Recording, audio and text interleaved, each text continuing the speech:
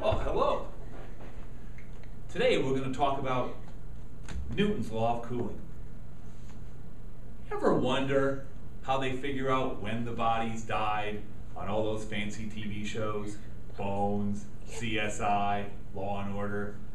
They'll come across the dead body, put the thermometer in, and say, Oh, I think they died at 2 in the morning.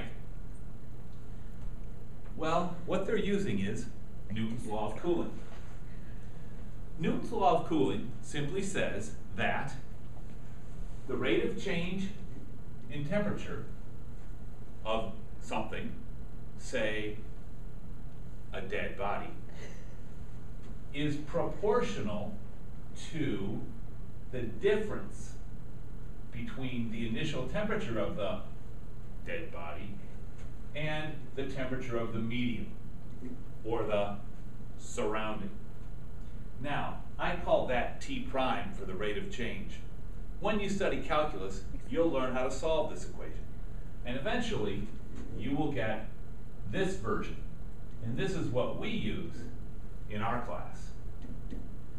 The temperature at any time t is the temperature of the medium, the surrounding area, plus this difference between the initial temperature the medium times e to the negative kt.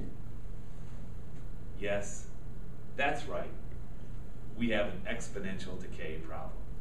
And we can solve this based on the temperature of the body, the temperature of the medium, and then we'll be given one value to find k. Once we do that, we can find the temperature at any time t, and also any time t for any given temperature. Which is, of course, how we can answer the question as to when the body died. Let's do an example. Let's say you come across a body. The initial temperature of the body is 80 degrees. The temperature of the medium in the motel room, say for example, is 60 degrees. So, let's review. You've checked into the motel. You know the room has been at a constant temperature of 60 degrees. You find a dead body at midnight.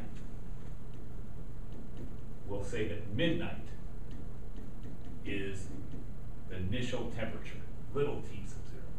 And that body's temperature is 80 degrees. How do we figure out when it died? Well, the first thing we're going to do is we're going to wait two hours. We're going to take the temperature of the body, T sub 2. And we're going to find that to be 75 degrees. Now, this is enough information for us to determine when the body died. Let's try.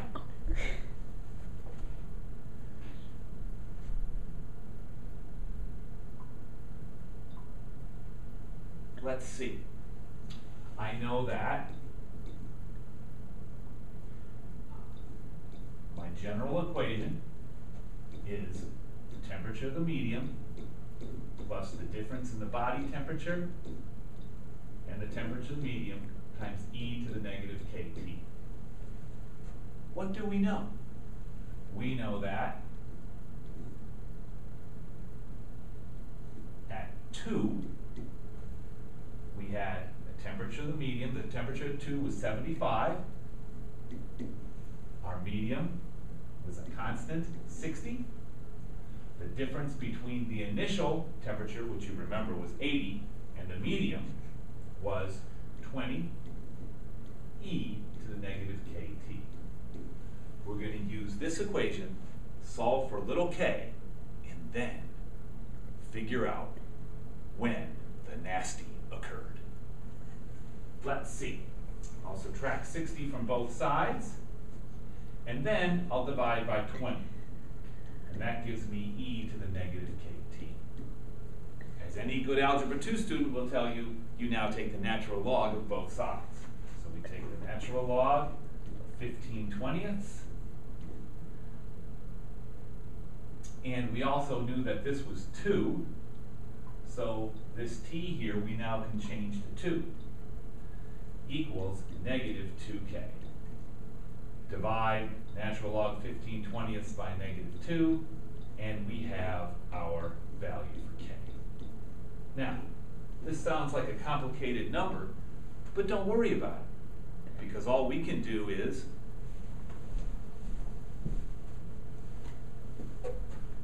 plug that value into our calculator. We'll store that as a variable value, and then we don't even have to worry about the approximation. Let's finish the problem. Now that we have our value for k, we simply rewrite the equation. Our value for k was natural log 15 twentieths over negative 2. Now, let's see if we can figure out when the body died. Hmm, what was the temperature when the body died? That's right, 98.6.